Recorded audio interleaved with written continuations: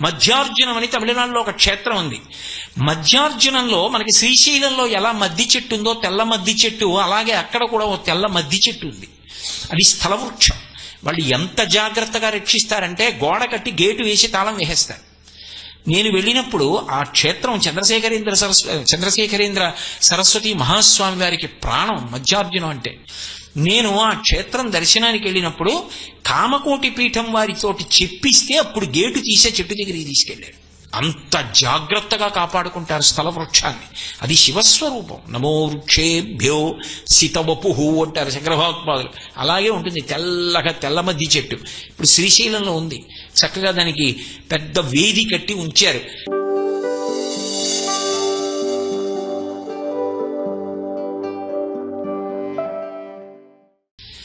ఇలా పుష్కరాలు వస్తున్నాయి అంటే మీరు ఒక్కటి జ్ఞాపకం పెట్టుకోండి అది ప్రజలకే కాదు. అది ఏ ప్రాంతమునందు పుష్కరాలు వస్తున్నాయో ఆ ప్రాంతము ప్రాంతమునకంతటికీ సౌభాగ్యం.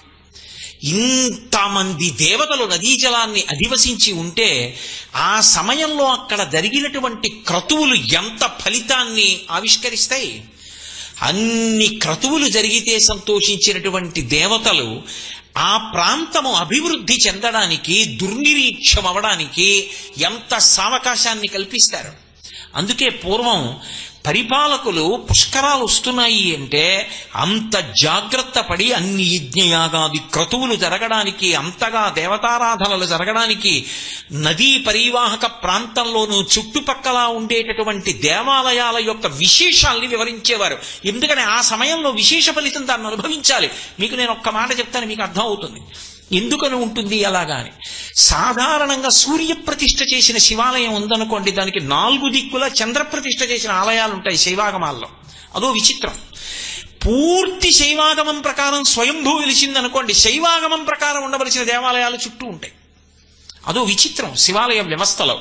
మధ్యార్జునం అని తమిళనాడులో ఒక క్షేత్రం ఉంది. మధ్యార్జునంలో మనకి శ్రీశైలంలో ఎలా మద్ది చెట్టు ఉందో తెల్ల మద్ది చెట్టు అలాగే అక్కడ కూడా ఓ తెల్ల మద్ది చెట్టు ఉంది. అది స్థలవృక్షం. వాళ్ళు ఎంత జాగ్రత్తగా రక్షిస్తారంటే గోడ కట్టి గేటు వేసి తాళం వేసేస్తారు.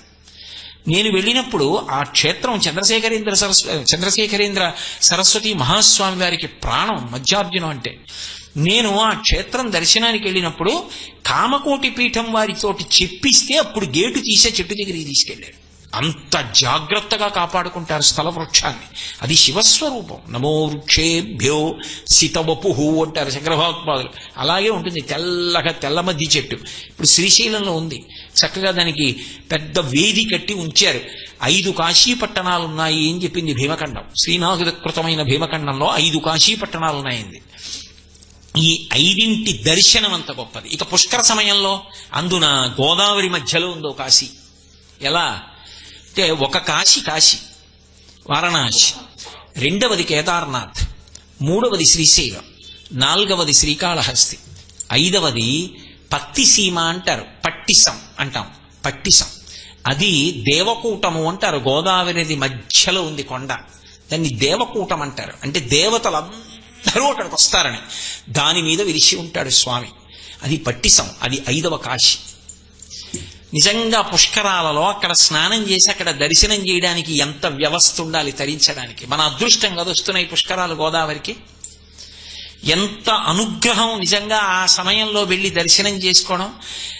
గంగలో స్నానం చేసి కాశీ దర్శనం పుష్కరాల సమయంలో గోదావరి స్నానం చేసి ఐదు కాశీలలో ఒక కాశీ చూడడానికి అనుగ్రహం. ఐదు కాశీ పట్టణాల్లో ఒక కాశీ పట్టణం గోదావరి మధ్యలోకి వచ్చి వెలిసింది పైగా గోదావరికి ఉన్నటువంటి విశేషం అంటే గౌతమీ గంగా అంటారు. రెండూ పరమశివ జటాజూటంలోంచే వచ్చాయి. ఒకటి భగీరథుడు ప్రార్థన చేస్తే వచ్చి మూడుగా ప్రవహించింది మందాకిని భాగీరథి భోగవతి అని మూడు పేర్లతో ఒకటి ఆకాశగంగా ఒకటి భూమి మీద ఒకటి పాతాళ గంగగా ప్రవహించింది.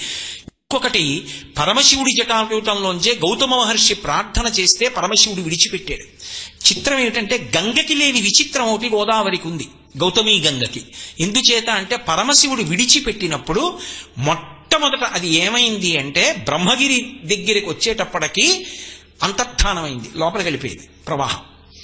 వెళ్ళిపోయినటువంటి ప్రవాహం మళ్ళీ గంగాద్వారంలో పైకి లేచింది. గంగాద్వారంలో పైకి లేచి మళ్ళీ అంతర్హితం అవుతోంది భూమిలోకి. అవుతున్నప్పుడు గౌతమ మహర్షి తన చేతిలో ఉన్నటువంటి దర్భల కట్ట ముడివేసి ఒత్తిగిలించాడు అది పైకి లేచి నాసికా త్రయంబక్ ఎందుకని అంటే అది త్రయంబకేశ్వర త్రయంబకాచలము అని పిలుస్తారు. ఐదు శిఖరములతో సజ్జోజాత అఘోర తత్పురుష వామదేవ ఈశానములనేటటువంటి ఐదు ముఖములు పరమశివుడివి ఐదు శిఖరములై విరిసింది ఆ పర్వతం. అదే పరమశివుడు. అరుణాచలం ఎలా పరమశివుడో? త్రయంబకేశ్వరం అలా త్రయంబకాచలం అలా పరమశివుడు. ఆయన దగ్గర ఉన్నటువంటి లోతుగా నుయ్యిలా ఉంటుంది. అక్కడ బ్రహ్మ విష్ణు మహేశ్వరులు కొలువై ఉంటారు అని ఆ శివలింగం దగ్గర నుంచి ఊట కింద ఊరుతూ మెల్లమెల్లగా ప్రవాహం ప్రారంభమై ఆ కొండ నుంచి అంటే శివ జటాజూటంలో పుట్టడం గంగది మనకి తెలియదు కానీ గం- గౌతమి గంగ తెలుస్తుంది. ఆ త్రయంబక్ నుంచి అలా బయలుదేరి వచ్చి ప్రవాహం కింద బయలుదేరుతుంది గోదావరి. అది గంగ ఇది గంగ. ఆ గంగకి పుష్కరాలు వస్తే మనం చాలా దూరం వెళ్ళాలి దేశకాలాదుల ఎందు. ఈ గంగకి పుష్కరాలు వస్తే ఏ నదీ జలాలు తాగి బ్రతుకుతున్నామో ఆ నదికి పుష్కరం వచ్చింది. దాని పరివాహక ప్రాంతంలో ఉండే క్షేత్ర దర్శనం ఆ నదీ స్నానం మనకి ఎంత అదృష్ట విశేషం. పన్నెండు రోజులు చేయొచ్చు. అందున అసలు భారతదేశంలోనే కనపడనటువంటి అద్భుతాలు కొన్ని ఉన్నాయి మీకు నేను ఒక ఉదాహరణ చెప్తాను.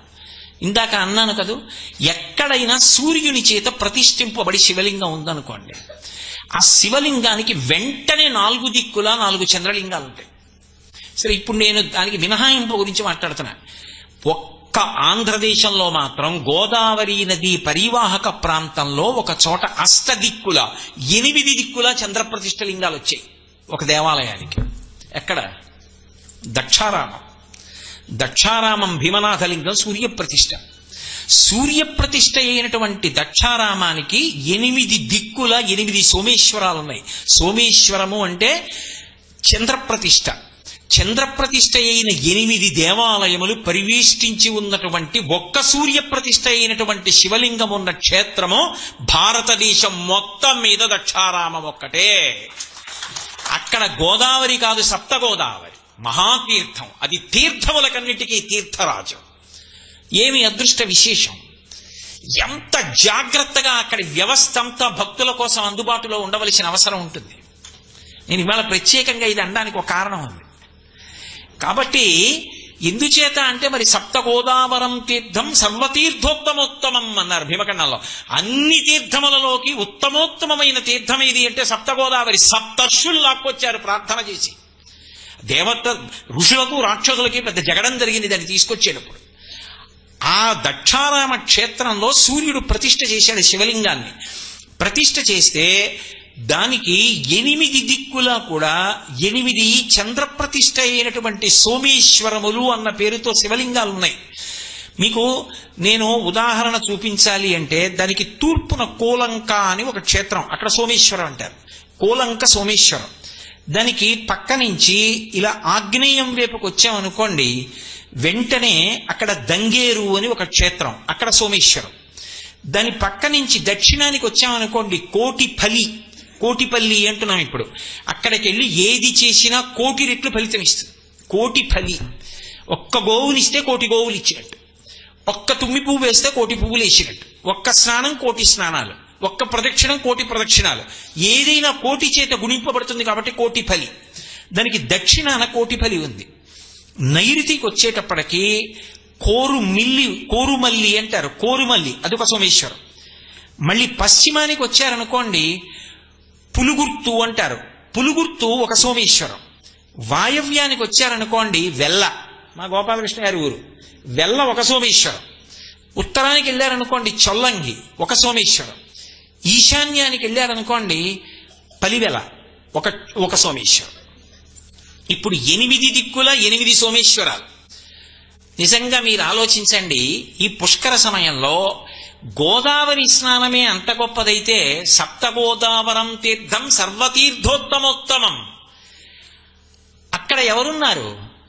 అంటే సమస్త దేవతలకు అధినాథుడు దేవతా చక్రవర్తి. అందుకు కదా అంటాం. శ్రీశైలే స్వర్ణశృంగే మణిగణ రచితే కల్పవృక్షాళిశీతే స్ఫీతే స్పీతే సవర్ణ స్ఫురిత నవగృహే దివ్యపీఠే శుభార్హే ఆసీన సోమచూడ సకరుణనయన సంగన స్మేర వక్ర శంభుశ్రీ భ్రమరీశ ప్రకటిత విభవో దేవతా సార్వభౌమా అని పిలుస్తాం.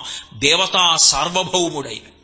అటువంటి శంకరుడు దేవతా సార్వభౌముడు దక్షారామంలో కొలువై ఉంటే ఎనిమిది సోమారామములు ప్రవేశించి ఉన్నాయి.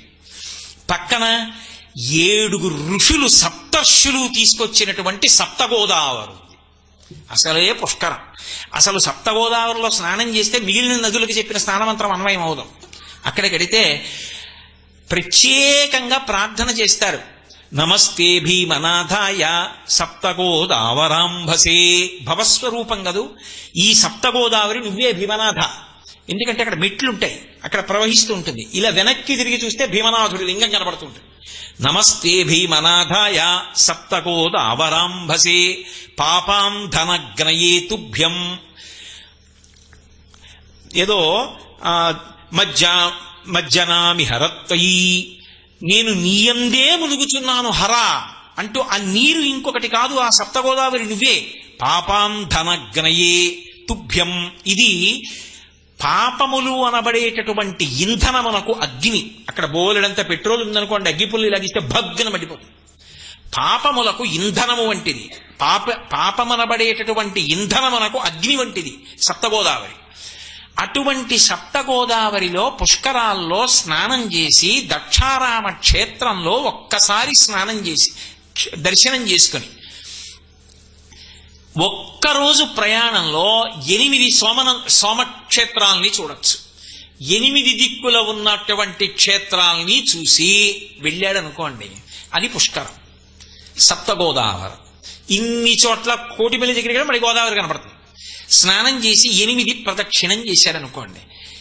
అసలు భారతదేశంలో ఎక్కడా లేనటువంటి అద్భుతం ఒకటి గోదావరి పుష్కరాల్లో మనకు యోగ్యముగా ఉన్నది. కానీ తెలియాలా వద్దా అందరికీ? అందరికీ తెలియాలా అది? అలా ఉండడం ఒక ఎత్తు. అలా వెళ్ళి దర్శనాలు చేసుకుని వెళ్ళడానికి అలా స్నానాలు చేయడానికి వ్యవస్థ ఉండాలా? దానికి కావలసినటువంటి సదుపాయం ఉండాలా? ఇది దేశకాలముల ఎందు నీతి కాలమే ఉంటుంది. ఏదో ఎప్పటికీ ఉంటుందండి అంటే పర్వాలేదు కొంతకాలమే ఉంటుంది. ఉన్నప్పుడు ఆ లోపల మరి అందరం ఆ అవకాశం అందిపుచ్చుకునే అవకాశం ఉండాలి. ఆ ఆ అదృష్టాన్ని మనం పొందాలి. పక్కన ఉన్న నది ఈ సప్త ధాతువులు ఆవిడ వల్లే కదండి ఏర్పడ్డాయి. ఆ నది వంక చూస్తే ఒళ్ళు పులకరిస్తుంది. అమ్మా నీ అనుగ్రహంతో కదమ్మా అన్నం తింటున్నా. నీ వల్ల కదమ్మా పంట పండింది. ఈ నీరు కదమ్మా తాగి శరీరం ఎంత పెరిగింది ఈ నీరు తాగి కదమ్మా విషయాలు జ్ఞాపకం ఉన్నాయి. అమ్మా నీకు నమస్కారం అంటాం గోదావరి కనబడితే. అందుకే భీమఖండంలో మాట అంటారు గోదావరి గోదావరి గోదావరి అనిడి గుణవంతునకున్ గోదావరి తల్లి చేకూర్చదవమ్మ భవ్య శుభములలెల్లన్ అంటారు. రోజుట నిద్రలేచి ఒక్కసారి గోదావరి గోదావరి గోదావరి అంటే చాలు.